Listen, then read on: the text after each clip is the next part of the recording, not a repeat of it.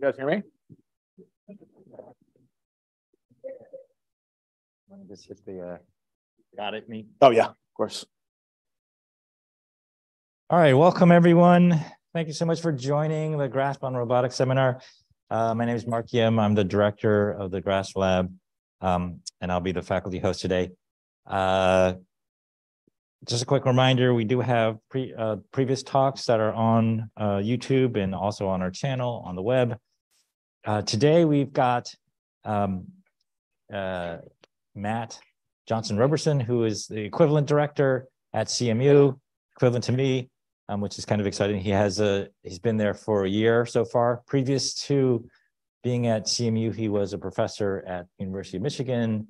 Um, he actually did originally do his undergraduate at CMU, and so now he's back there, which is always weird, an interesting thing. Um, uh, also, We've got our two panelists today, our student panelists, uh, Fernando Cladera and Tom Zhang.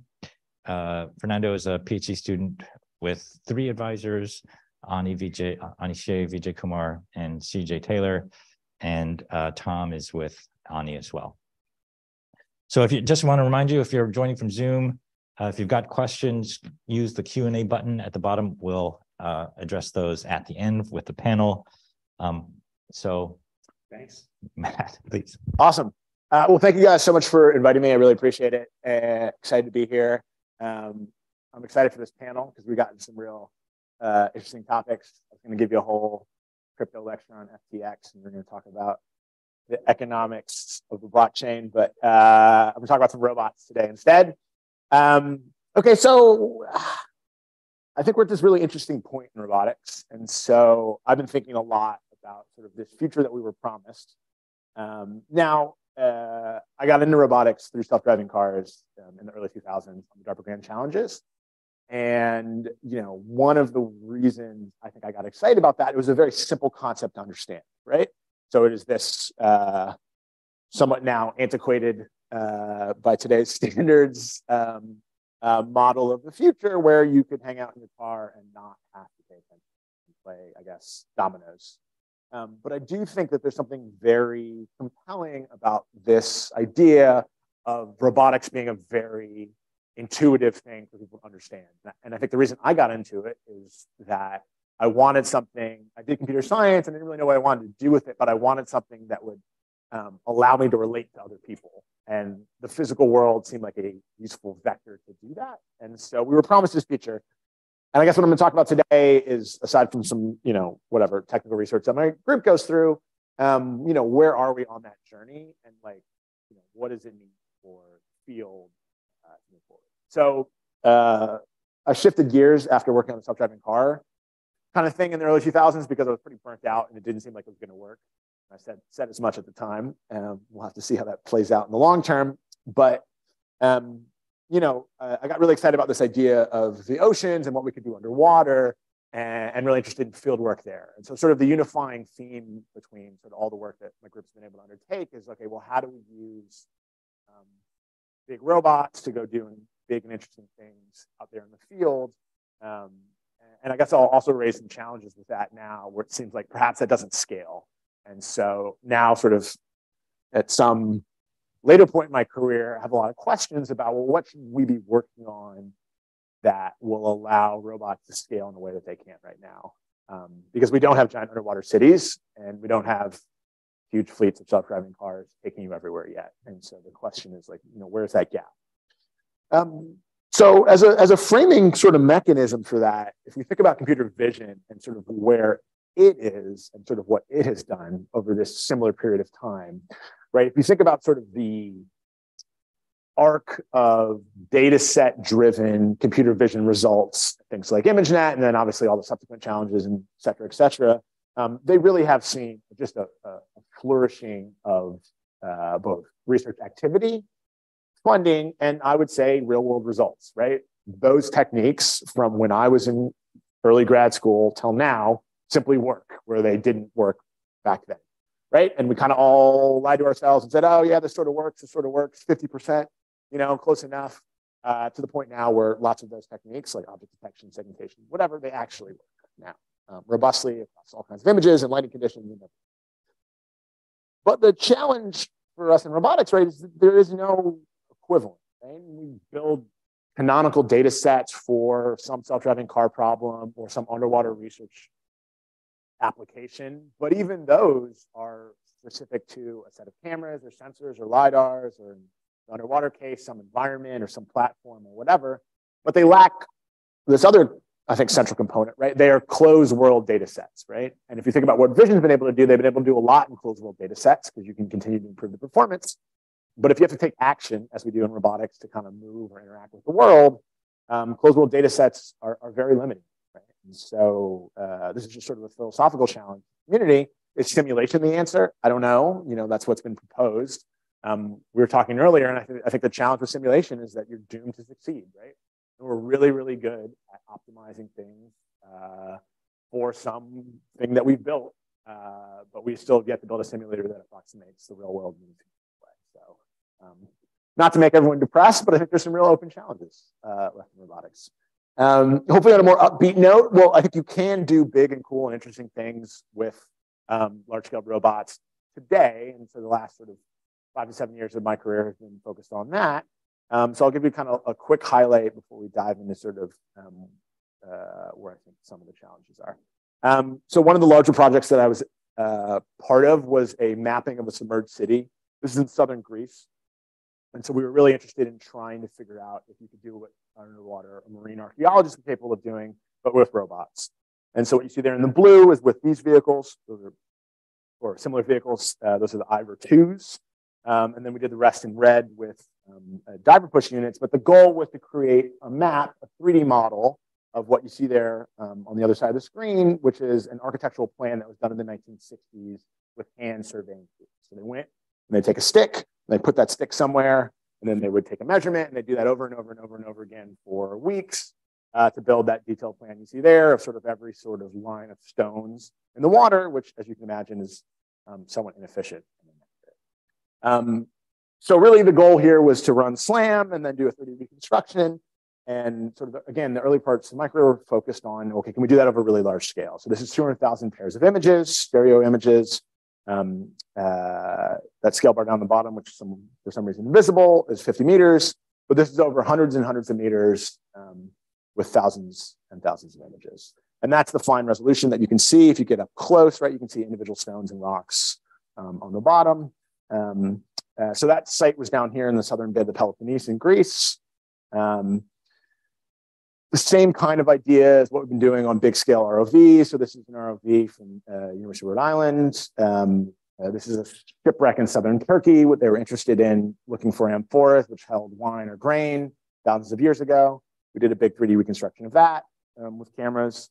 And you can see, okay, we get both the 3D model and, you know, uh, images that show you uh, all the fine scale detail, like starfish and pots and all that kind of fun stuff. Great. Um, uh, another large vehicle we got to work on was the Sentry vehicle. Um, that is a high resolution camera system um, that uh, the group in Australia was able to put on there. Um, so deep water camera system, great. Uh, and then we are able to do these kind of large scale, again, 3D reconstructions. So we spent lots of time focused on SLAM and 3D reconstruction from underwater environments to build these big models of um, this is a, a, bacterial mat off the western continental shelf. The reason I show all this is one, that this is sort of what I spent all my time doing, but secondly, it's sort of a, a, a challenge that, you know, these were projects that required me, uh, a bunch of other grad students, uh, a ton of engineering time. Um, we got to do, you know, a handful of them in my career, right? So we're talking order five to 10, maybe 15 deployments that I've been a part of. Um, uh, in Australia, they continue to do these, but at great expense and, great time, right? Effort. And so one of the kind of bigger fundamental challenges when I think about field robotics is that, you know, this to me was really important when we were thinking about, okay, can we do this? We've now demonstrated that it is possible to do this, right? You can build big maps underwater and all that technology, particularly where SLAM needs to be, where 3D reconstruction needs to be, where optical imaging underwater needs to be, is there. The question now becomes, to my mind, well, how do we scale that, right? How do you get to a point where it doesn't cost, you know, a couple million dollars and 10 people with PhD level educations to do this because I think that that is going to be a big limiting factor for this world that we want to inherit, where there's going to be all kinds of cool underwater cities or big self-driving cars. And what I guess is becoming increasingly clear to me is it is not a function of, well, you just build it, show that it's possible, and then somebody else, like the industry or some business-minded people, somebody over in the B school is going to come over here and figure out how to scale this. I think that there are fundamental challenges left in the way that we think about that technology that are the challenges of scaling. Not that it is possible, which I think is what we were doing in robotics for long periods of time, demonstrating that something is possible. I would like to spend the kind of second half of my career figuring out, demonstrating that things are scalable. Um, I don't want to do that necessarily by going and building a company that tries to scale this specific thing. And so the question becomes where in the technology space at a university can you demonstrate scalability without having to spend millions of dollars in engineering effort? And I think that's an interesting and open question. Uh, here's another big model. Um, this one's cool because it has lots of these weird yellow bacterial mats. Um, and this is a project done in the context of um, NASA's ASTEP. So they wanted to use this as a proxy for space exploration. Another example of a thing that costs a lot of money and is unclear how it scales. Uh, more recently, and sort of other non-scalable things I've been working on, uh, we've been working on trying to do this now for grasping manipulation underwater. Um, uh, so this is an example um, from one of my uh, former graduate students, Gideon, with a Schmidt Ocean Institute um, vehicle, an ROV arm, where he's trying to do uh, real-time 3D reconstruction underwater. Um, he has a bunch of fiducials in the water to ground truth it, but the reconstruction is being done live without those fiducials. Um, and then trying to figure out how to dynamically place an arm. So it's a 3D image of the arm um, that was moving actually um, in the real world. Uh, he wants to use this ultimately for science sampling. So this is the uh, a planar controlled slurp sampler that's going to take up uh, sediment samples from the bottom. You can see over there uh, on the other side, there's a ROS uh, model of that, which you can then task um, to go grab a sample in some location as opposed to having to pilot the arm directly. Um, and then ultimately we linked up with um, uh, Matt Walter, who does uh, natural language processing so that you could say, go to sample location to the robot execute now, and then it processes that natural language into um, the end effector going and doing thing. And this is sort of all in the aim of trying to do this, uh, you know, more scalable version of what we do now. But there's still these really big and fundamental challenges, I think, holding this back from being used everywhere. And so there's sort of a lot, again, a lot of open questions as to what we could do with this um, and how we need to take it to the next step. Okay, so, you know, I guess is what I'm getting at. Does this scale? And I think uh, maybe not as is. So we've, we've been trying to do a couple things now um, to kind of address that. One is that you know a lot of the work we did was with robots, um, and because uh, that's what I work on. Um, but we've been trying to think about tools for a long time to give the human beings that do this, you know, every day already to make them more effective, right? So this is a diver pushed rig with the same set of stereo cameras and GPS for the surface um, to build those 3D reconstructions. And so that's a thing. Build tools for other people. Um, and there's tons of marine archaeologists, or not tons, but there are marine archaeologists out there that do this every day. And so I don't have to go. We can build them a tool that works. Um, but the kind of second and hopefully longer term thrust that uh, my group's been working on is trying to build very, very low cost robots that are fairly capable in a field sense, right? So there's lots of work on these sort of microscale robots that are like Sense or you know, paper robots or folding robots or origami robots not that. These are robots that can go and be deployed. This robot can go to uh, around 8,000 meters depth, so very, very deep. So it's, it's not designed to be cheap, but it is designed to be cheaper. So the goal here is sort of be in the ten, $20,000 range so that you can build, you know, 10, 15, 20 of them um, on the kind of budgets that we have. Um, and the central mechanism here is it's built around a, a deep water uh, spherical housing that can go to 8,000 meters, and then we build foam around that to hold it up. Um, and then we packed in, you know, an NVIDIA Jetson and some cameras looking down um, to try to do that same kind of 3D reconstruction work I've been showing you, but to do it at much, much lower cost. Uh, that's whatever, um, the drawing of it. Uh, but, you know, ultimately we built one and now we're building a second. We're going to try to build a couple um, and then really deploy them and understand what the limits of something that costs $10,000 as opposed to 500 or a million dollars, 500,000 or a million dollars with the ultimate goal of, again, trying to scale up that idea. Now the question becomes at some point there's a break point here, right? Like, so we're not an engineering firm. I'm not going to be able to build these things in some way that I can build hundreds of thousands of them, right? But there are real fundamental questions left, like can you do all this navigation without acoustics? Can you do it just based on visual odometry, those kind of things? And I think if we can answer those, perhaps that unlocks enough to get us to a point of scalability. Uh, this is sort of the uh, drawing we had envisioning this, that kind of at 4,000 meters, you'd have a fleet of those. It was much easier uh, to get artists to draw this than it will be to uh, actually eventuate uh, this reality. Um, and now with you know whatever generative models, I could have just asked DALL-E 2 or whatever for one of these, which would have been even cheaper. Um, but I do think that there's something to this idea of thinking about scalability. Okay, uh, we got a cool image of a turtle with it. Uh, so we deployed this in Hawaii um, uh, already, and it's been working sort of okay. Um, and so now one of the graduate students I had down at um, CMU is interested in sort of expanding this. We're going back to Hawaii in uh, the fall of the coming year with the hope of demonstrating this at a couple thousand meters to show that it really does work at depth. Okay. So that's my pitch for underwater. No one cares about underwater. I'm the only whatever. I mean, she cares about underwater, but very few other people do. People just want to they care about self-driving cars. That's that's what everybody cares about. Maybe you care about it less now, but it's another element of the future we were promised, right? So this promise self-driving cars, and it's the same challenge, right?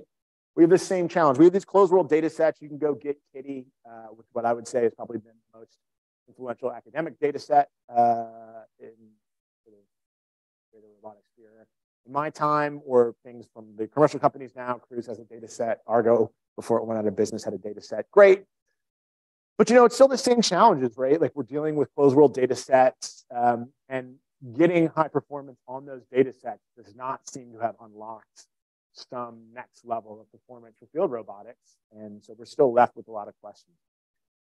Um, I always like to talk about the history of self-driving before we um, talk about where we think it's going. But um, you know, this has been something that people have been researching for 50, 60 years. So this is an RCA project from uh, the 1960s, where they used metal cables in the road to figure out how to keep the car centered. Uh, and then the drivers in there applied gas and brake. But there's been a long arc of academic projects all the way from the RCA project to ALV, uh, the Navlabs that were at CMU, Argo, which is an Italian project. Um, I jump on the scene with Sandstorm at CMU in the early 2000s. Uh, Stanford had Stanley then Junior and Boss, et cetera. But you see this increasing complexity in number of sensors, different modalities, all those kind of things. Um, and then, you know, you get to sort of today and you look at sort of a, a modern self-driving car and it's pretty much a car with some additional LiDARs in the roof, maybe some cameras floating around.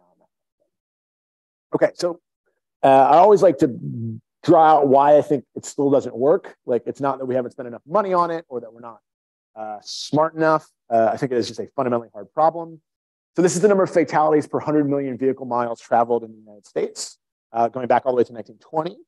And so if you go that far back, uh, it used to be pretty unsafe to drive. Um, good to know since many of you were probably driving in the 1920s. Uh, but that's steadily gone down, uh, sort of uh, asymptoting close to one. So now we're about one fatality per 100 million vehicle miles.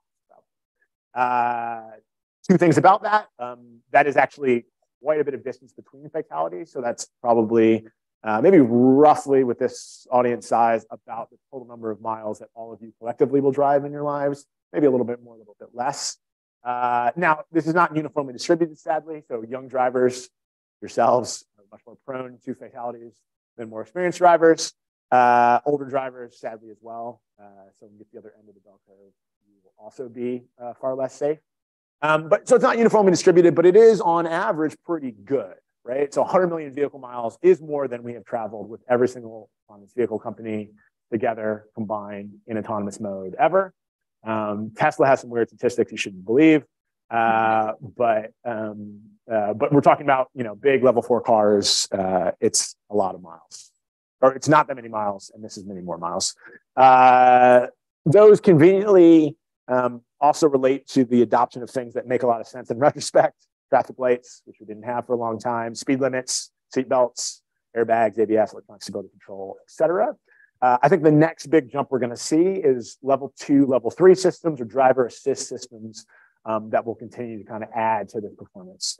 Uh, another important thing to note is that you tend to introduce something and then fatalities go up. People get very overconfident in their systems and then decide that I have a seatbelt so I can drive a thousand miles an hour and it's fine.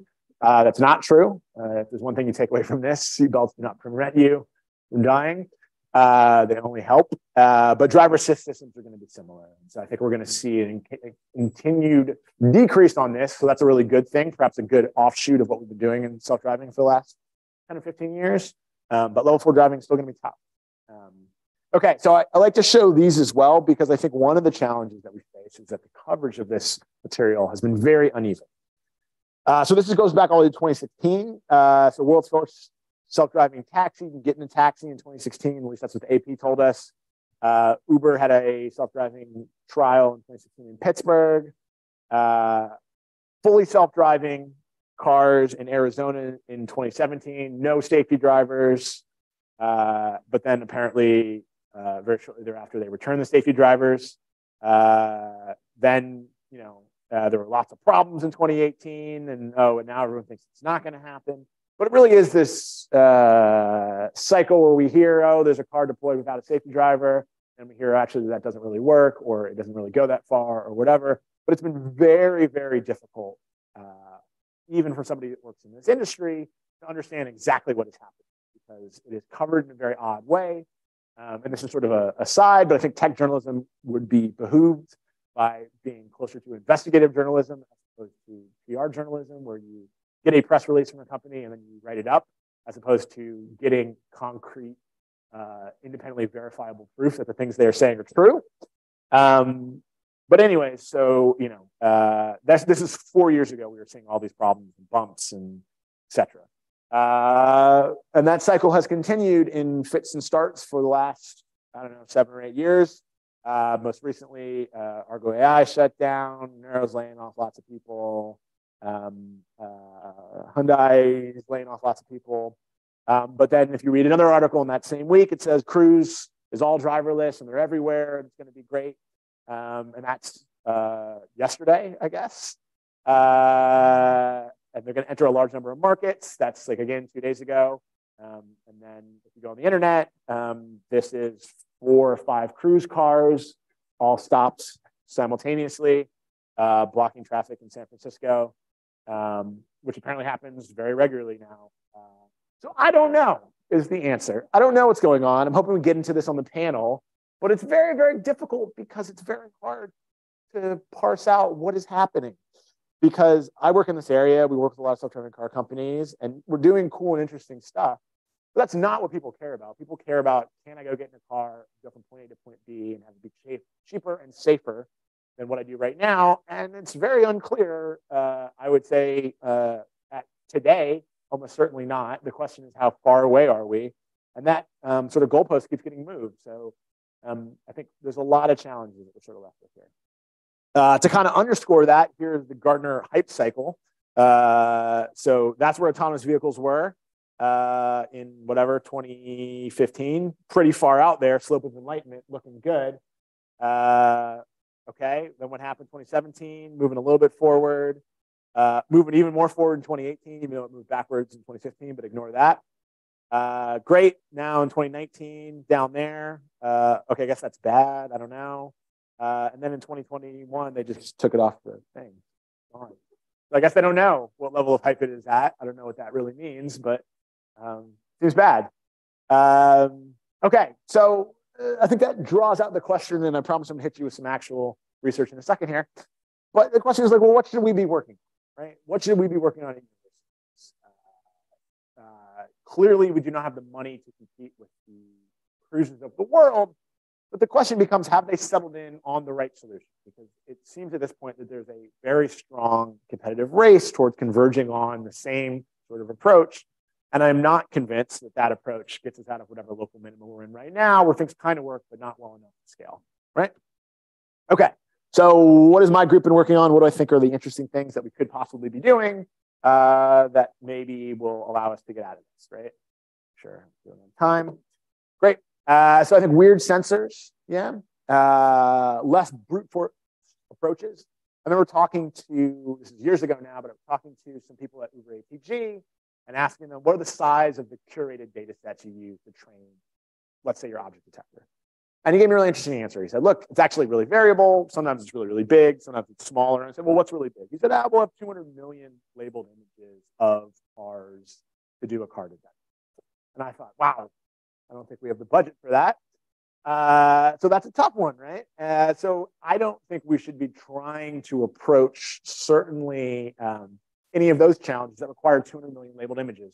That is uh, probably the research that is a labeling budget that is larger than the research budget of if you were to take five uh, large universities doing robotics research and add them all up, it's probably on that order, right? Maybe not, maybe a little less, but it's still a lot.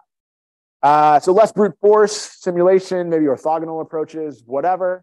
Um, but I think, uh, and I'm going to start with weird sensors and tell you a little bit about that. But I think that ultimately, um, we need to be doing something different because if it is to do what Cruise and Waymo and others are doing at a smaller scale. That feels both uh, a duplication of effort, but also that we are ill equipped to compete with them in brute force approaches like label 200 million car images. Okay, so what are the problems that I think are going to continue to bedevil us in the sort of uh, self-driving car space? Uh, things like smoke and fog, glare, motion blur, uh, darkness, those are all challenges when we think about perception at least from optical cameras or optical related cameras that are going to be left to, to address. So again, try to work on something that other people are not working on because you know, there's a lot of people working on camera-based perception these days self-driving cars. Uh, so we built this rig uh, back at Michigan, uh, still there with um, Ram Vasudevan um, for the Ford Center for Autonomous Vehicles. And uh, we put a LiDAR on there, cool. Everybody has one of those. We put two additional sensors that are more interesting. So we had some RGB cameras, whatever. But we had these uncooled microbolometers, which are thermal cameras that are fairly inexpensive. When I say fairly, on the order of a couple thousand dollars. And then a very, very expensive uh, cooled thermal camera, which uses a weird metal that they probably mine unethically in some weird part of the world. Uh, and you have to cool down to super cool temperatures um, to um, be able to image with, but produces these very high resolution, high quality thermal. Great. Okay, so you know, if we're thinking about adverse weather conditions or the things that would limit the scaling of self-driving cars, and I think adverse weather being a large one, right? Let's think about snow. There's a ton of snow in Michigan. Um, so we went, took our cameras out there and did a bunch of work in the snow. And so you can see the effect of uh, snow on LiDAR. There's a ton of noise that exists there, um, sort of in the, hanging there in the mid frame. Um, and you can see that uh, in the thermal camera images, you get a fair bit uh, more clarity, um, even in fairly heavy snow conditions. Um, yeah. Okay. Uh, so when we're talking about thermal, what do we mean? Well, let's look at this little um, spectrum diagram. Uh, so you have your visible light there, your standard RGB camera, great. Uh, you have your uh, 900 nanometer uh, Velodyne there. And then you have up there radars in a much higher frequency. Those are all good. Um, cameras have high resolution, LiDARs have moderate resolution, radar typically has a low resolution. Um, but we're talking about something else here, right? So this is um, thermal cameras that go up higher there in the spectrum, and they can have sort of a moderate resolution, but they're sort of passive, which uh, tends to be a good thing for a variety of energy reasons, but also they tend to be more or less sensitive to obscurance. Um, so there's kind of trade-off between the cheap ones, which are the ones that would really be deployable for self-driving cars or other applications in sort of the low-cost range, and then the things that people use, uh, sort of more scientific, um, high-end cooled thermal cameras. Uh, so microbolometers, the ones there on the left, right? They're always exposed. They're sort of equivalent of a rolling shutter camera, if you think about it in that way. They don't require any cooling, uh, and they're sort of low in size and power. Uh, the other cameras, the cooled thermal cameras, are a photoelectric effect. Um, uh, they have controllable exposure time. Each frame is individual. They're more like a global shutter camera. Uh, they require cooling to 77 Kelvin to bring you back to your chemistry days, if you remember Kelvin. Uh, and they are bulky and fragile. Okay, so what do we want to do? Well, an idea we had is can we figure out some way of creating uh, images from the cooled thermal camera um, and matching them with images from the uncooled thermal camera and learn something about how to denoise or process the uncooled thermal cameras in a way that gives us sort of high resolution, um, better imagery. So uh, the really cheap one's 3K, the slightly more expensive uncooled camera is 20K, uh, and that more expensive one is 200K, um, but also really bulky. That's much of the problem. Great. So they started with smoke and fog. Um, and so again, this is the thermal camera, visible camera below that, and then LiDAR. And what you're going to see is sort of a increase in fog. Hope this is video.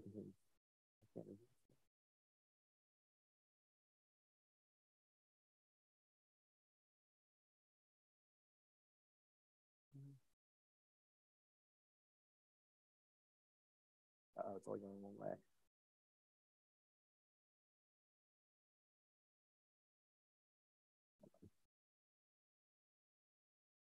Well, we'll just let it play. Um, but you're hopefully going to see, uh, there you go, increasing fog or smoke uh, there in the visible camera spectrum um, over there on the right. And you can see the thermal camera is far less affected, right? So you can't really see anything there um, in the visible camera, but the thermal camera is doing an okay job. And you do notice it in the LiDAR, right? You can see that really heavy fog um, showing up in the LiDAR. Okay, so we know this is the problem. What can we do about it, right? Well, so we know that the thermal cameras are better, but the challenge is, you know, why can't we just use those? Well, if you look at the thermal image at 200 hertz, you can see a great deal, A, of low resolution, but B, of blur, right? So if I pull a single image out from that, right, it has it exhibits a ton of motion blur. Actually, very difficult to recognize objects from within the. So our goal here was to perform motion deblurring of thermal imagery. And the, the idea was, well, can we use the physics of the thermal camera itself to be able to facilitate this, right? So this is just an equation that shows the photoelectric image formation model, right? So pretty straightforward. You have an image that's created.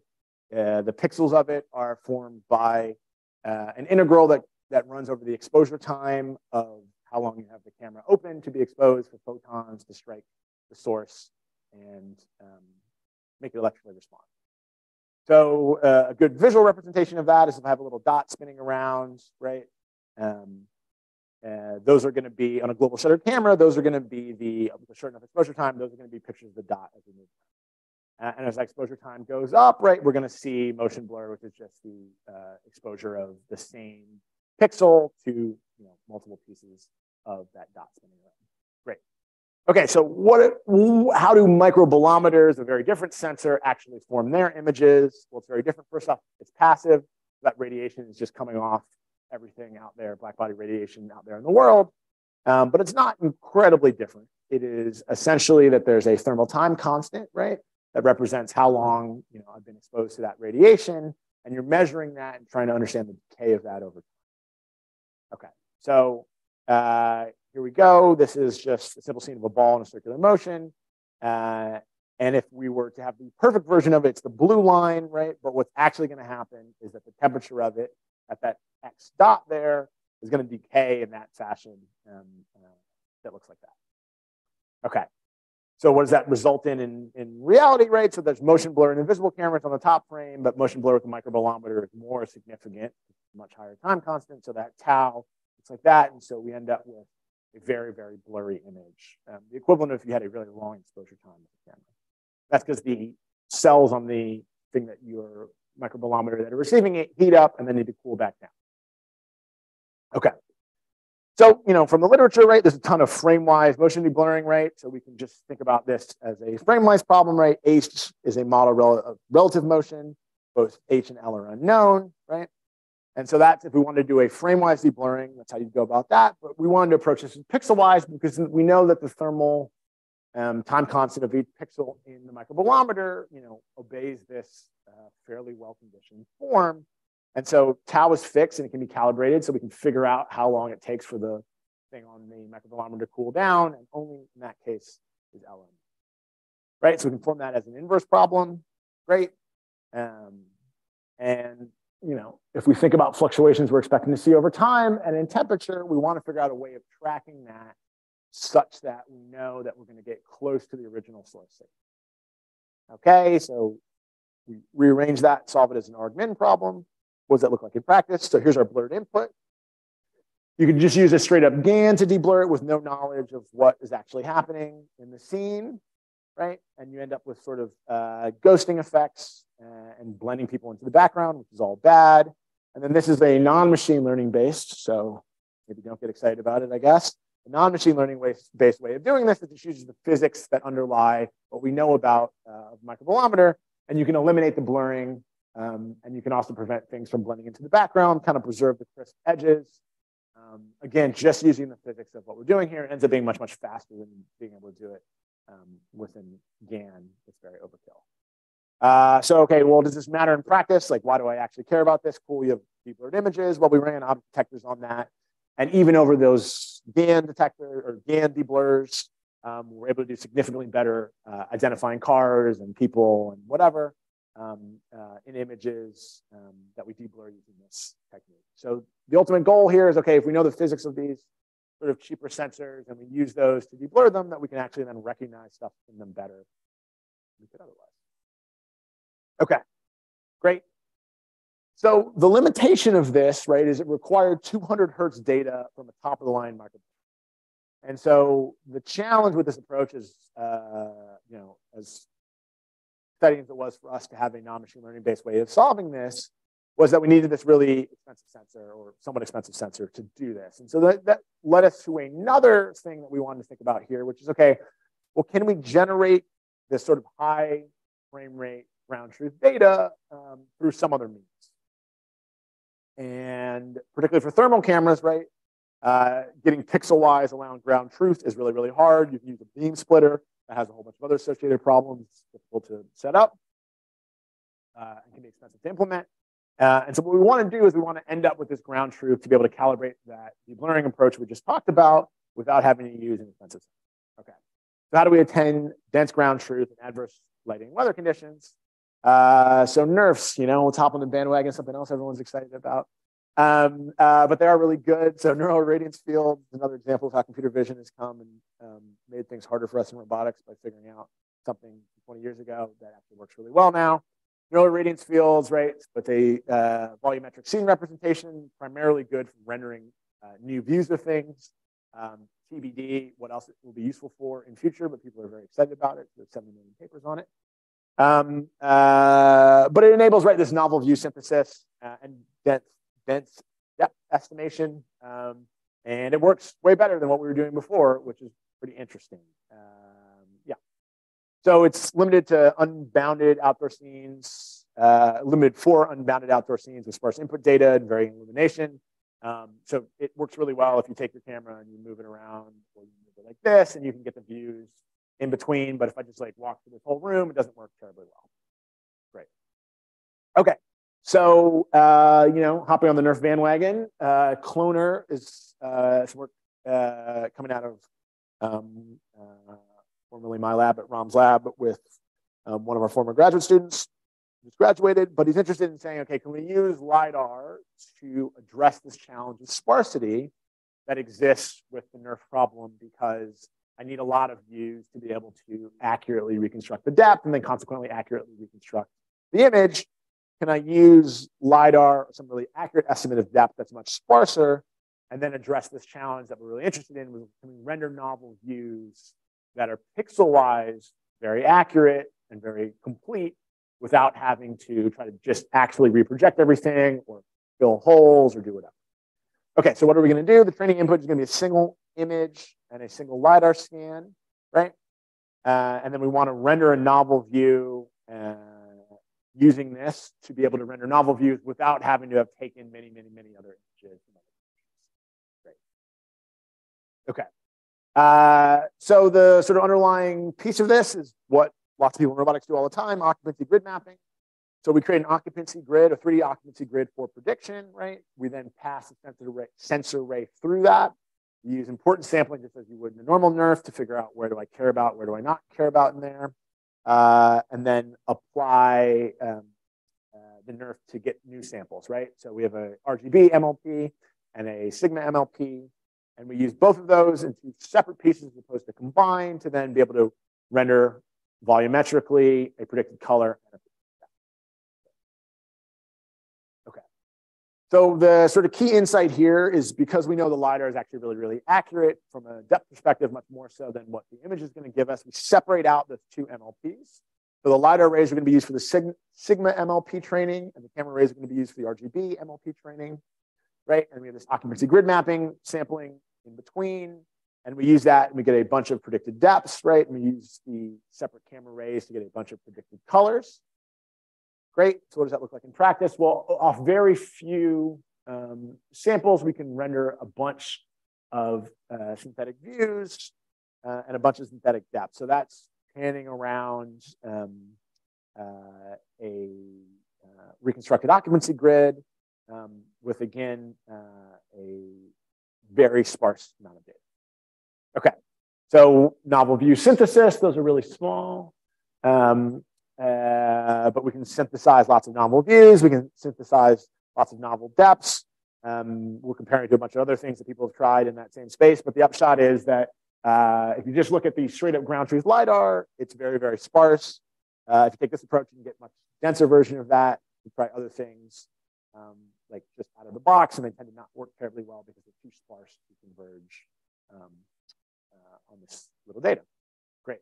So we can leverage NeRFs to learn deep, dense scene representations for challenging driving scenes. Good. Okay, so let's bring this back to the thermal camera problem, right? Okay, so we have image one and image three, and the reason I show you both of these is that you can see that there's a, an incredible amount of parallax because we're moving, we're looking sideways and we're moving pretty far distances, right? So you can see that there's a mailbox in one and it's gone in the second one because we've shifted significantly.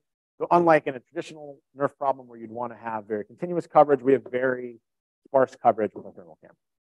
Okay. Right. So uh, here's a baseline. We just try to use a NERF out of the box. That works very poorly, as we would expect, because you don't have sufficient uh, data in between the two sources.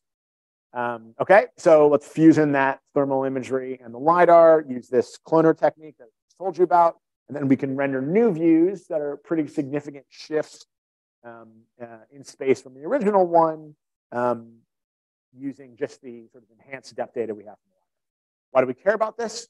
Well, if we're interested in using these sort of lower cost thermal cameras uh, and we want to figure out a ground truth data set for that, right? There's a mechanism we can use here, which is to get um, fairly accurate LiDAR depth data and then use that to render a bunch of novel views of the thermal camera to then make comparisons or learn denoising approaches like we talked about earlier, all those kinds. Um, so you end up with per pixel depth that actually looks really, really good, even though you have fairly sparse information from the LiDAR. And one of the sort of counterintuitive things here, or perhaps things that's not obvious, is that you end up really getting a uh, very refined depth estimate that's quite good, even though you have very sparse fairly accurate depth information and sort of not a ton of visual information from the thermal. Uh, so that's depth from image two, depth from image three. We can also calculate per pixel optical flow, um, would be important for some applications. So that's a camera only NERF in the center. Uh, that's a coupled MLP there, which again is uh, what you would do in a standard NERF. And then sort of this infrared NERF approach over there. And the first thing that should be noticeable, right, is depth is much, much cleaner.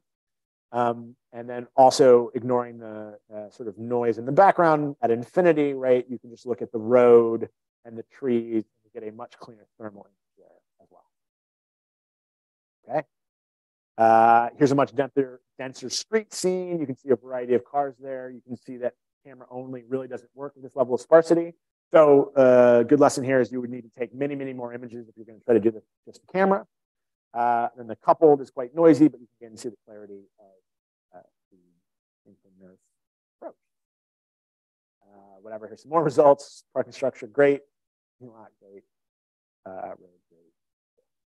Uh, we just want to show that you can you sort of improve this by using this occupancy grid mapping. So that's uh, 128 uniformly sampled, uh, uniformly spaced samples versus 64 uniformly spaced samples plus 64 samples from occupancy grid mapping uh, by focusing occupancy grid just the same way you would um, for other robot approaches. You get a better NERF, better results. Uh, okay, so the other kind of nice, non-obvious thing here is you get sort of an implicit denoising. If you look at the ground truth there of two, Um, you can see then a rendered image there over on the right, uh, and it suppresses lots of that sort of high frequency noise that's coming off that thermal camera um, that you expect. Okay. Implicit denoising of point clouds, right? That's a point cloud. There's some noise in there. There's also a lot of sparsity. Uh, and that's the rendered um, uh, depth map you get um, from InfraNerf. Great. Okay. So finally, the, the sort of last piece of this, we want to render images uh, as if they were taken from the microbolometers pose because we're interested now in aligning those two pieces of data such that we can then um, make assessments on um, denoising the microbolometer. So that's the cooled camera rendered by the InfraNerf in the exact same position as the microbolometer. Now we have a pixel-wise aligned um, set of infrared data to be able to make decisions on what we cool. Uh, and we also have again, step data and optical flow. And kind of So the hope is that you can then use approaches like this, and this sort of goes back to this idea, okay, well, what can we do with simulation? Maybe we can't do a ton with simulation, right, uh, in the visible spectrum or, or, you know, photorealistic, but what if we were to start to think about using approaches like NERF and synthetic rendering to render different lenses, different positions, different resolutions, different frame rates, or, you know, different positions that we were not actually in to begin to think about simulation in that domain where we're taking real data and trying to render novel views as opposed to uh, what lots of simulation, uh, at least in the sort of visual spectrum, has been focused on, on increasingly photorealistic renderers, right? Because I think the challenge with that is that video games are spending billions of dollars trying to make the best photorealistic renderers we can make, and we're sort of, you know, uh, we're not going to be able to compete with that in academia. We're not going to make a better renderer than Epic Games and 50 artists. But then the question is, well, if we want to think about simulating things in the visible, you know, light space or lidars or whatever perception sensors, um, maybe NERFs offer us some insight into where we could go. Great. Parting thoughts. So I think we're in a weird moment for robotics, right? So we were talking about self-driving and we're talking about sort of this huge influx of uh, money and attention and other things. And so my question really is, okay, we're not seeing the sort of scaled robotic solutions that sort of we were promised, but we are seeing this huge influx of money. And so I'm quite worried or quite concerned that um, perhaps we've over-indexed into a few very narrow areas. We've invested very heavily in those. And if those don't work out, people are going to say, well, robotics is too far off, right? It doesn't work. It's not commercially viable, right? And so the question I have, and hopefully we can get into it in the discussion, is like, well, where do we think the field should be going? What should we be chasing? right? How close are we in some domains? But more importantly, like how do we scale robotic technology to, you know, actually solve real problems in people's lives? So I think that's important. Um, uh, the speed of change, I think, is another interesting question, and we were talking about this earlier.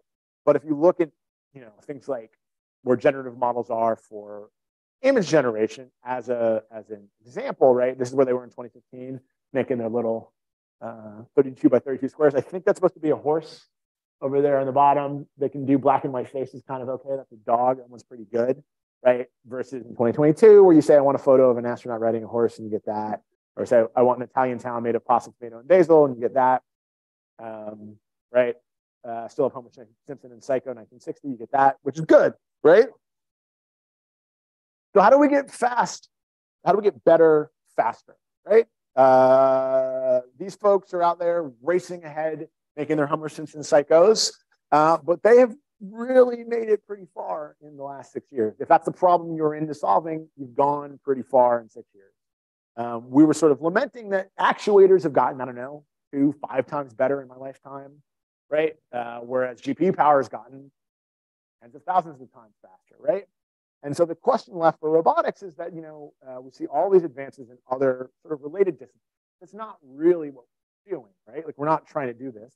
And the second important thing to focus on when we think about Homer Simpson Psycho is that like eh, anything that kind of was 90% of the way there, your brain's going to make up the rest of it and be like, that looks pretty good. Uh, if I were to ask for that same generative network for a very accurate depth map of this room, and it gave me one that was like 90% of the way there, you would recognize that it was more and that it probably needed a bunch of improvement to get somewhere. So when we, when we think about sort of the advances in both uh, natural language, things like large language models and image generation models, the humans are doing a lot of the heavy lifting that comes to saying what is right um, and what is wrong. And I think there's a lot of ways way to go, what we want to do. So how do we get better faster? And, and when we get into the discussion, um, I kind of want to poll the room. But I think one of the biggest challenges we have is that like uh, I was at a conference uh, couple months ago, a couple of weeks ago, something, and I asked everybody, can you think of an example of a deployed machine learning system that's not for object identification or for whatever, but it's for a robot system that is like moving around and needs to control itself in some and we and this is a group of mostly entrepreneurs, not academics. And I said a scaled one, one where you go to the store and you buy it and you bring it home and your neighbor has it or everybody in your factory has it. And it's not a PID loop. It is a machine learning approach to figuring out how to move through the world. And nobody can come up with an example. One guy came up with one. He thinks, and I'd love to see if anybody has a better example. He thinks in the latest iRobot vacuum cleaner, they use a uh, learning based approach to figure out how to control the actuators to get onto the carpet and off the carpet. That's his belief. I don't know if that's actually true. We'll have to do some fact checking with iRobot, but he believes that, that, it, that it is true that those robots being sold out into the world are probably a good example of a deployed, scaled machine learning approach to robotics that's not image detection. But we'll see. Okay, uh, so the questions that I think that we're left with are what scale, right? What are the technologies we're building that are going to scale? and not like we have to scale them, but what are the things that are ready to scale, right? So that was my survey question about. Well, let me let me pause there and ask: Can anyone out? Does anyone have a different deployed machine learning system that's not perception that they know about that exists? No one. I was really sad. We we, we noodled on it. Someone, no one has any. Yes.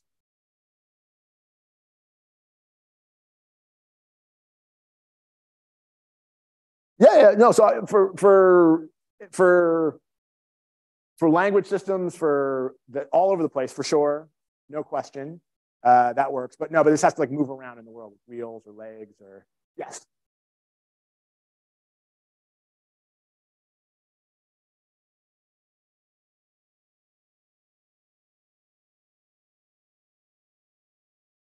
Okay, so so on ANYmal, the uh, for everyone else's edification, the quadruped we think it's an RL system uh, to control it moving across uneven terrain.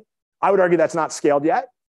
In that, like, I think you have an ANYmal. I think Ram, my old colleague, has one. I think there's a few floating around in Switzerland. But, but yes, so the question is like, will that scale? I think that's the question, right? So like, I have seen a ton of videos. I got a few smart people at CMU working on that, running uh, other quadrupeds over uneven terrain.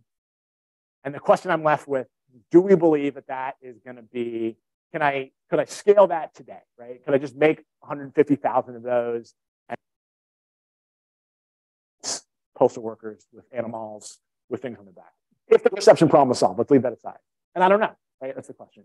Our quadrupeds seem to fall over basically every time we take them out and you get like 30 good seconds of them running on like dirt and then they fly uh, over and then they break and they're full of dirt and it's really, really bad. But yes, like I do think that that, but so this is the question. I think we're, we're seeing systems that are there, but mostly in research labs or mostly in, but that's a good example. Another one? Yes.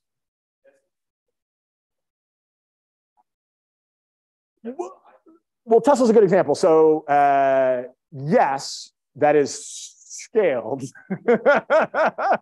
but uh, I don't know if that's a good thing that it is scaled, right? So like there are some RL systems deployed on that, right? But they keep seeming to slam into things and, and that seems bad. But yes, now Spot's an interesting one. Do you do they use RL for their control of their actuators? I don't know. Also, I'd argue sadly Spot is not scaled. There's like, you know, whatever, uh, 500 of them, but like they don't, they have yet to do a thing that's like super useful, um, in my humble opinion. But yeah, I think we're getting there.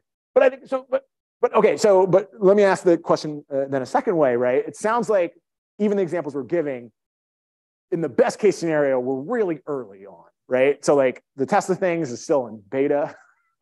Spot is like you're not gonna walk outside and see one. So we're we're getting there, but it's still really early on. The question is, are we pushing the gas on the right? one? I would argue the Tesla one is probably not the right one to push the gas on, metaphor intended, uh, because it's very dangerous, right? I don't know if it's ready to scale. Right? That's a good question. Anything else? Yes. That's a good question. Yeah.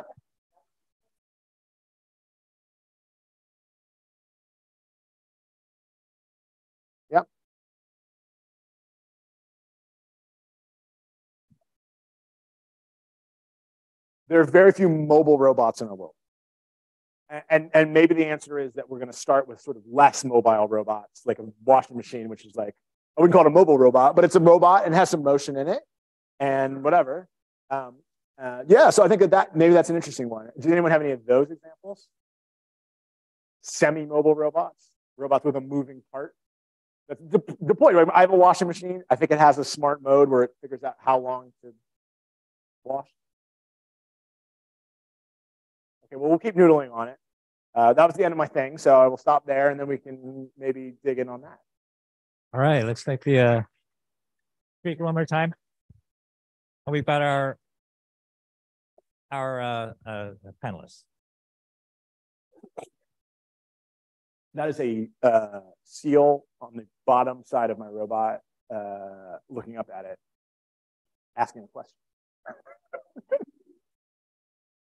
Matt, uh, thank you so much for this very, very inspiring talk. Uh, we remind the people on Zoom that uh, we have the Q&A button if they want to submit their, their questions. Uh, and I think that there are a couple of questions that you raised during your talk that, that could be good triggers for questions. The first one is like, um, why do you think that there is like this gap between media and reality when you talk about like autonomous driving and mobile robots? Uh, what do you think that universities can do to differentiate with, with business that have a lot of resources to, to move this technology forward? And uh, what do you think the universities should, should focus on? Um, and I would like to start with uh, one question uh, that is, uh, what do you think that is the role of open source in, in all this, this revolution? Because we saw a great example with, for instance, the Linux kernel is running everywhere, uh, and we don't see any similar example in the um, uh, autonomous driving uh, world. So do you think that this is something that could be the key for, for scaling autonomous driving? Uh, yeah, so I mean, uh, I'd love to get other people's thoughts too. I don't want to dominate the conversation, but uh, I, I, would say that um, two things have been important in the academic side of autonomous driving. KITTI, which is you know yeah.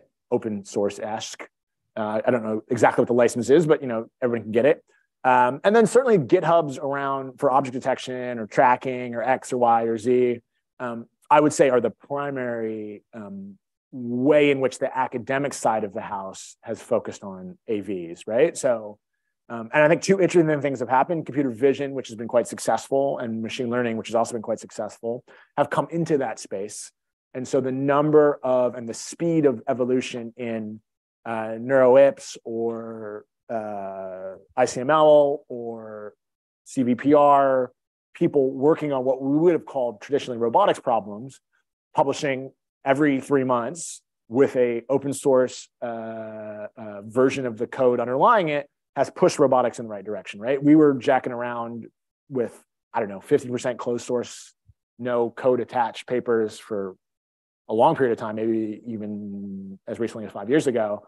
And those communities have pushed us, and, and now it is uh, much less common to release uh, robotics paper without any code attached, at least in the perception side of the house, I would say. Thank you do we have any questions in the audience?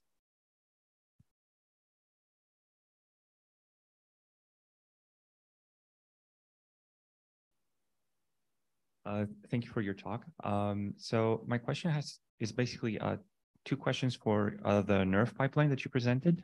Um, the first is how does that pipeline respond to noise, uh, such as the imagery that you showed us of heavy snow? Mm -hmm uh, because I guess that kind of would put noise in the model and maybe I don't know how the NeRF reconstruction would behave in that case. Yeah. And the second is what do you think would be the what's a good target to set for the computational requirements of such a pipeline in order to be deployed and to also be like financially reasonable after sure. it's deployed? Yeah, sure. So the first one is. Um, uh, and, you know, performance is going to degrade the more noise you introduce. But because it's sort of occupancy grid based, right, the the better your sensor model is. So for a LiDAR, you can have a semi-reasonable one. Then you can build more complex ones if you, and we have a, actually a whole separate paper on snow that I didn't even talk about, which is attempting to do exactly this, which is just remove snow from LiDAR data. Um, so if you're interested, the student is uh, Mingyuan uh, Yu. He just graduated, but I'll point you to his paper. But um, the nice thing is those occupancy grids, as we know, work really well for reducing noise generally, and then NeRFs on top of that also do a pretty good job of reducing noise and, and being really focused on only things on the surface and much less in the volume in between where your sensor is and the surface. Um, so, so they do actually pretty well, and, and you can have a fair bit of noise in both the LiDAR um, or even in the um, sort of alignment of, of your poses, and it still does an okay job. Now, your second part of your question is like computational expense. Um, you know, I used to be really worried about um, uh, making sure all the things we were developing were like, you know, real time so that it could run on a robot. I, I will tell you, I am less worried now, only that if we're doing everything on a GPU, we still have not hit sort of Moore's law's limits for GPUs because they just sort of add more whatever. Like the cards keep getting bigger as far as I can tell. That's like that's how they solve this problem. They seem to add more silicon. Um, but a thing that was not real time on the last generation of NVIDIA GPUs, or pick your favorite GPU manager, you know, maker, it is is I, I found is like you know as long as it's not like you know two orders of magnitude out is is real time in the next gen. So I think as long as you're sort of in the ballpark. Now for NeRFs, they were notoriously slow, days to train, uh, you know, minutes to reconstruct an image. Even that's gone away. So if you look at what uh, there's a bunch of indexing techniques and tricks. So NVIDIA has a paper which is like uh, pseudo real time, and they just they play games to essentially make the recovery of the rays uh, and raycasting. But all of those are like uh, embarrassingly parallel problems, and so they they they if you do the right thing and create data structures, they can all be pretty real time. Uh, is my two cents. So there's there's now, and, and, the speed of evolutions on NeRF is very quick. There's now like 10 or 15 real-time NeRF papers that are that are out there. And then the training is now sort of order minutes and then reconstruction order um, real-time frame rate. So, and, and, you know, graphics houses, other people are really excited about this now. So I think it will continue to accelerate and uh, you will have access to real-time NeRFs in the next six to 12 months is into prediction that I have. Thank you. Thanks for the talk, man. Um, you, you, brought up this sort of hype cycle, right, in, in the media. Um, and, and I'm going to throw out one hypothesis for you to, to either agree with or disagree with. And I want to get your thoughts on sort of what we should do as academics. But um, particularly given that you mentioned both Tesla and FTX today, mm. right? It, it, seems like there's there's sort of dual problems here of a fourth estate that with pretty limited exceptions is not really able to assess the technology. Yep. I mean, there's people like Kara Swisher out there who can, right? But not a lot. Sure. Um, and then you have these sort of social media driven hype trains. Um, you know, uh, you know, I know you use Twitter, right? That's that's one great example, and yeah. particularly when in, in, the AI space as well. Right? There's a lot. Yeah. So, you know, what's our role as, as academics? Um, you know, in, including people with with louder megaphones like yourself, and and how you know how should we be working to to ensure actual information is being being disseminated? Well, I would say stay off Twitter if you want to keep your job. That's my first advice. There's never a news. Here's a news story you'll never read. Professor loses job for not having Twitter account. But the opposite story, you do read. No, but in seriousness, I do think it's a really important issue, right? So the question I think at core is twofold. One, I think journalists are not equipped to cover, um, particularly uh, science journalism, science journalism is a hard field in general. It is hard for a journalist to cover the breadth of scientific work that's happening, and they do an amazing job of trying to do that, but it's a hard job in of itself. I think the problem comes when science journalists have a hard job and they're covering, they used to cover mostly scientists. And if you cover scientists, a scientist is going to be very measured in what they say. An academic's going to be very measured in what they say. They're going to be like, well, you know, there's some reasons why this is good and some reasons why it's bad. And they'll call some other of your academic buddies up and they'll be like, I wasn't on the paper, but here's what I think. And you get a fairly balanced coverage. So if you're interested in gecko, skin, moistness, I'm sure the science article you read on that in the, in the popular press is probably going to be pretty even-handed and pretty good. I think where the problem comes in is that we have, there's an incredible financial incentive to say your thing is really, really good if you're running a startup or trying to get money for a startup or have an established bit, whatever, right? and FTX is a great example. If you have somebody who has a benefit in saying this thing is worth a lot of money and is really great and amazing and X and Y and Z, that is an incredibly dangerous combination because it's very hard to interrogate that, not only because that person has an incentive, but if the whole industry has an incentive to say that things are great, right? It's a reinforcing, right? Nobody's getting their company funded because of the one on Twitter saying none of this works, right? Like that's not helping people raise money. And I think that is the challenge. So I think our job as academics and as students and as people studying this, I think is to be very skeptical and to be inherently skeptical on extraordinary claims without evidence, right? And um, I'm increasingly reticent to listen to people that have excuses as to why they cannot show you or demonstrate how their thing is better or good or whatever. And this idea, it's like, oh, well, we don't want to give away the proprietary nature of it. We don't want to do X. We don't want to do Y. We don't want to do Z. We have so many examples of that being cover for a thing being magic beans as opposed to actually being proprietary that now I'm quite skeptical when someone tells me, I can't tell you how it works because it's secret. That to me makes me very uncomfortable. Um, and the, the only winning thing we have is that uh, there are no financial stakes in academia, vanishingly small. I mean, that's that's sort of true, right? But then you have, you know, Facebook and, and OpenAI Yeah. who are very close to academia, right? Well, I would agree, and I think this is the this gets at where my greatest fear is: is that those companies have a, a vested financial interest in saying things work amazingly for their stock price to go up, and increasingly, and this sort of gets at one of the big challenges, uh, lots of people that you used to be able to put in the box of no financial incentive to say things are good now exist in three boxes. One box being, uh, I'm going to say this is good so that the stock price goes up. And this isn't to say that every academic who's off working in industry is lying to us every day. They are not. Uh, most of them remain very, very good people. But the ones that got infinitely rich, you got to have some questions about what they're up to. I don't know. You know. Anyways, I don't know if that answers your question. Um, but I love. I, I think this is an important issue for all of you. So if anybody else has thoughts, please please give them to us. Do we have uh, more questions from the audience? Don't be shy. One on. You said one online. Oh, okay.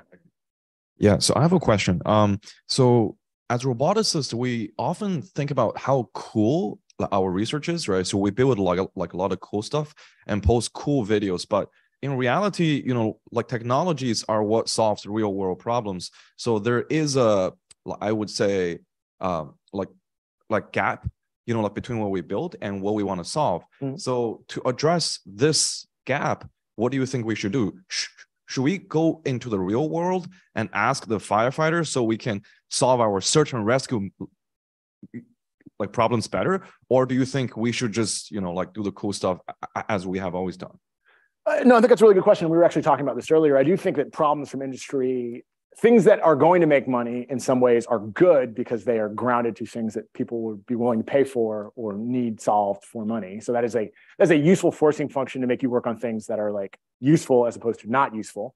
Um, I think at its extreme, it's challenging in the sense that like if we only to work on problems that we think are that businesses have, the question is, you know, what is the time horizon that businesses are thinking over? And I think it's important for us to maintain uh, research threads or things that we think are important over longer time horizons because the, the nature of sort of quarterly reporting and the way that businesses work uh, precludes them oftentimes for thinking 20 years in the future, right? And so many of you will build careers where hopefully you'll have a problem that you want to solve that will take you the entirety of your career.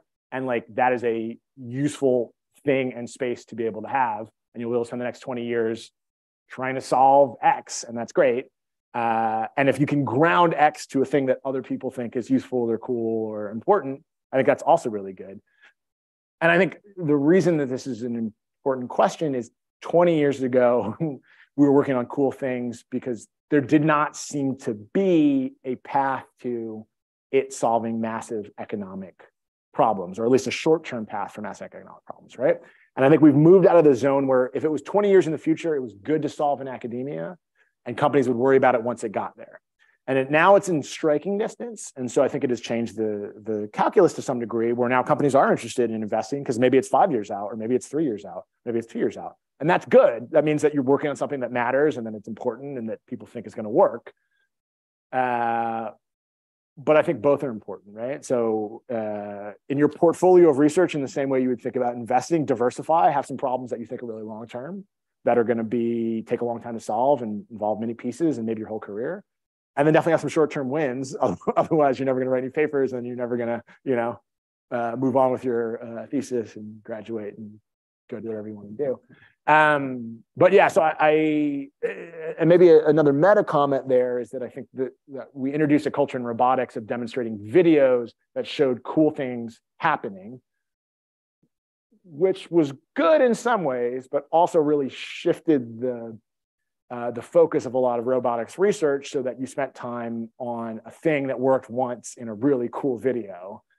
And you know uh, i worry that we there's no prize for a 15 hour video of folding laundry over and over and over again and never messing up right? There isn't a version of that right but that is what a robot that would do this uh, commercially successfully would have to do and so i don't know how we bridge that gap right now you should not spend your time writing a making a 15 hour time lapse video of a robot folding clothes over and over and over again. I would not recommend that, but but there's something to that, right? That there's a and that's what we're seeing in driving, right? So uh, getting 97% on KITTI car detection is great.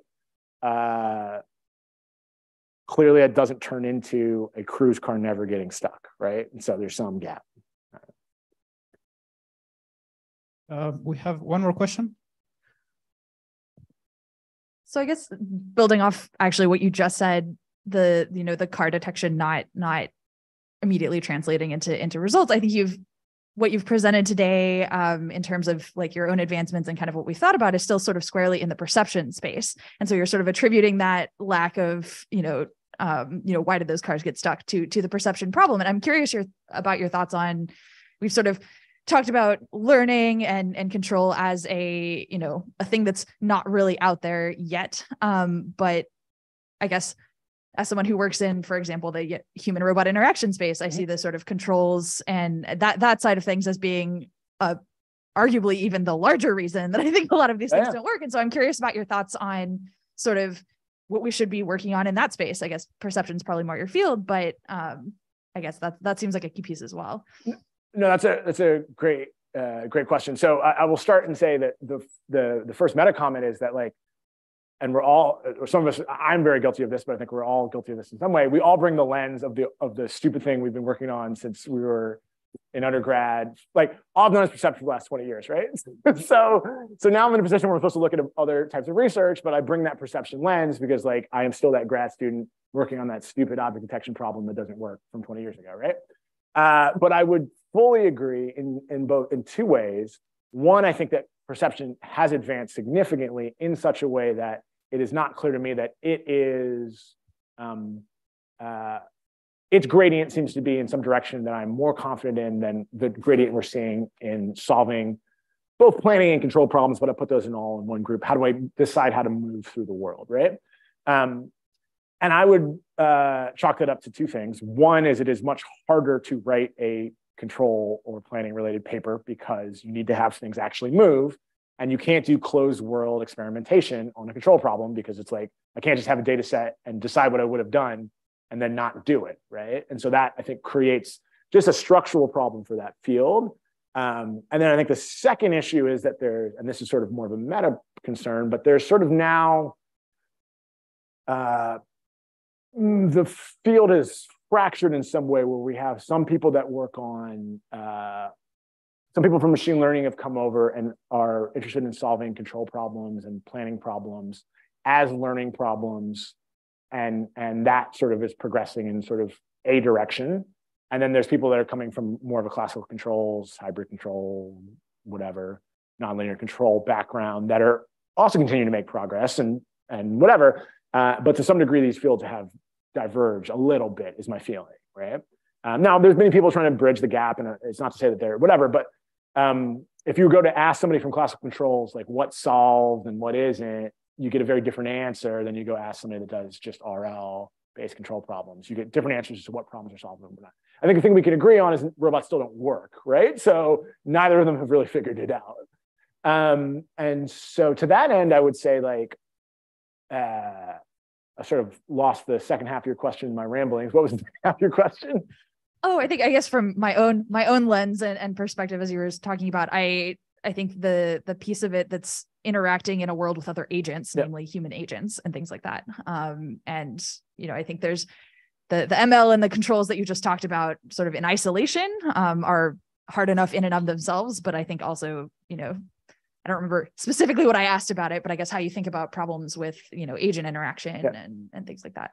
Yeah. So so I guess uh, getting to that, I think that the the other problem we're seeing is that robo- this again is a meta problem that robotics has grown to a size where HRI is over here doing its HRI thing, and that's its own community. And you know, people go to CDC and ACC and they do their thing, and then I go do my thing at whatever perception-based conferences, right? But we have this fracturing, and, and I think one of the challenges is that um, I would agree. I don't think we're going to see scale deployed robotic systems without solving all of those problems to a level that uh, is is on par with human performance, right? So if agents act really weird and, and they're very hard to predict and whatever, and they're uncomfortable to interact with, you're not going to scale that because no one's going to want those robots in their world or their space or near them, or they're dangerous because they don't know how humans are going to behave and they do things that are unsafe. And and um, yeah, so I, I guess um,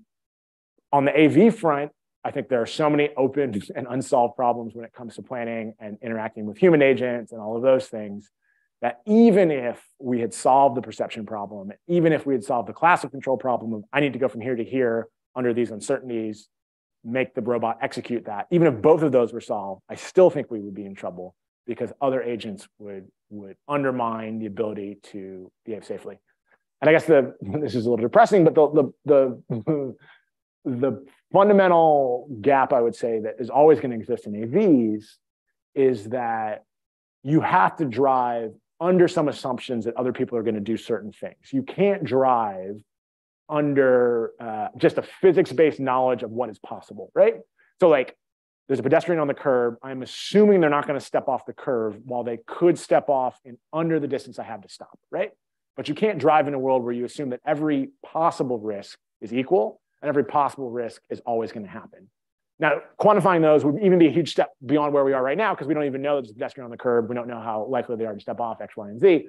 But you have to drive under some of those assumptions. And so the intersection of where that meets, how much can I know about other agents and predict other agents, and what we can do on the control front in terms of how could I actually move around them or stop or whatever, the intersection of those is going to have to exist at some place that is closer to humans than it is a perfect you know, uh, industrial robot that never makes a mistake because, you know, humans are inherently, um, other agents, not even just humans, other agents are going to be inherently unknowable in some way, right? Unobservable. Sorry. Oh, thanks.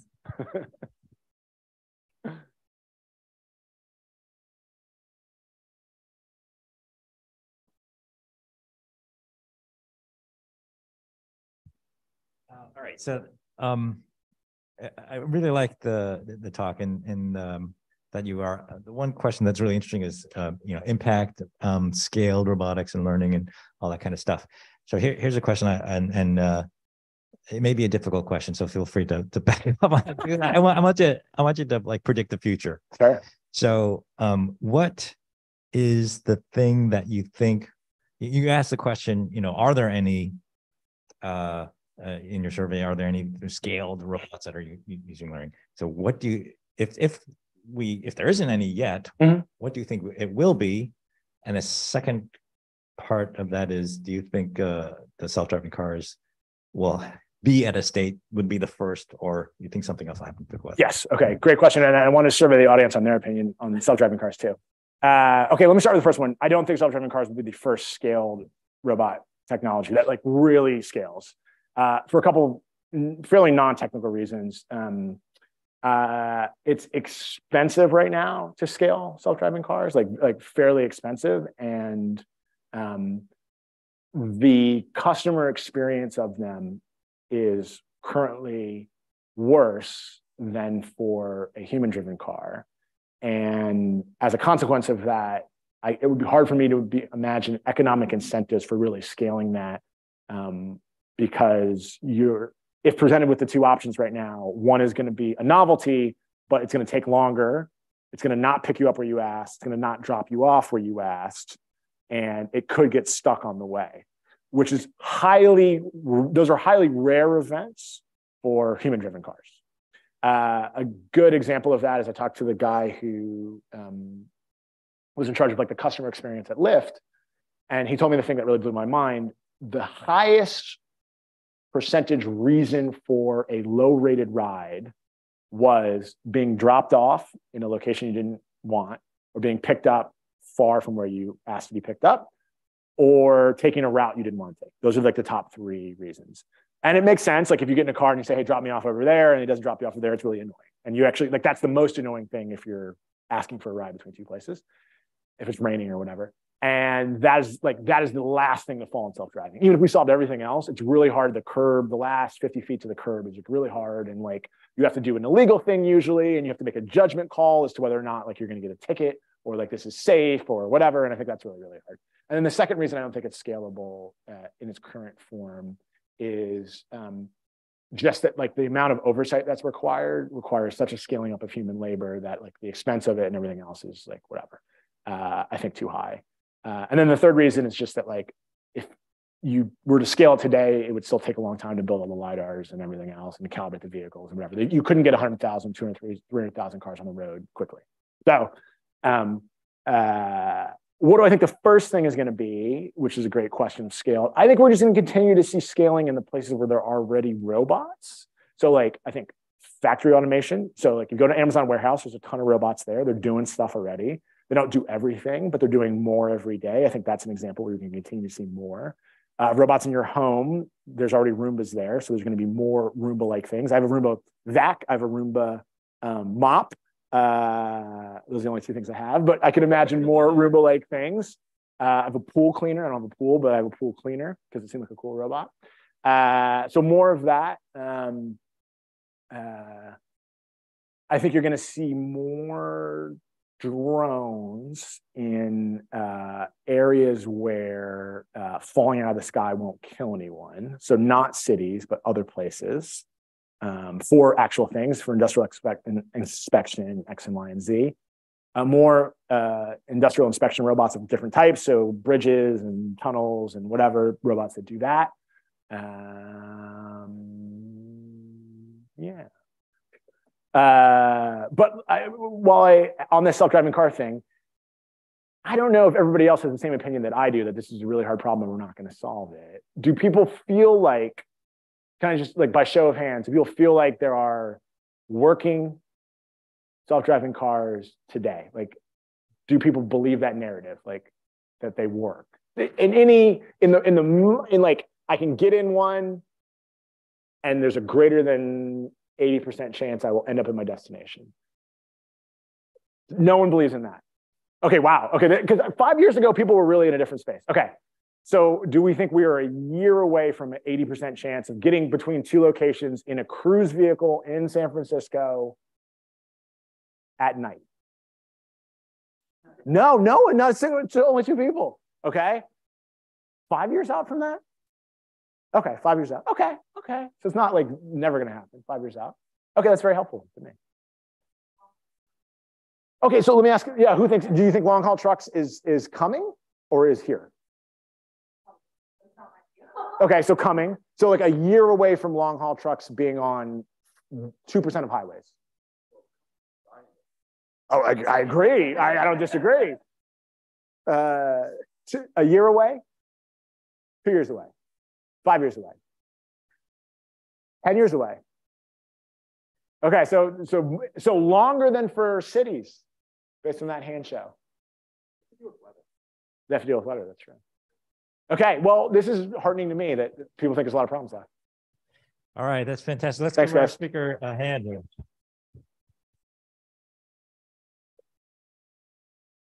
Uh, that's a, a really interesting talk. Um, I want to thank everyone for joining us. Uh, please tune in next Friday, December 9th at 1030 for our next GRASP on robotics. We will have David Fouhey from University of Michigan.